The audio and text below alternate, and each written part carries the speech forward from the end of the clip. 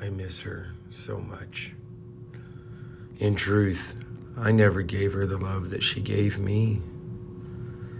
I remember each time that I failed her.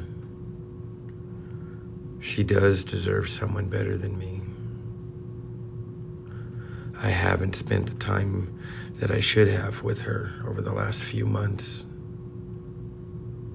Winter is long. It's too, too long. I look outside, and instead of joy, the thing that others are feeling, all that I have is heartache. My insides are all twisted up. My hands shake, and my thoughts are out of control. Am I addicted to her? Yes. Yes, I am. All that I can think about are her curves, the thrumming of her heart, the heat that her body brings.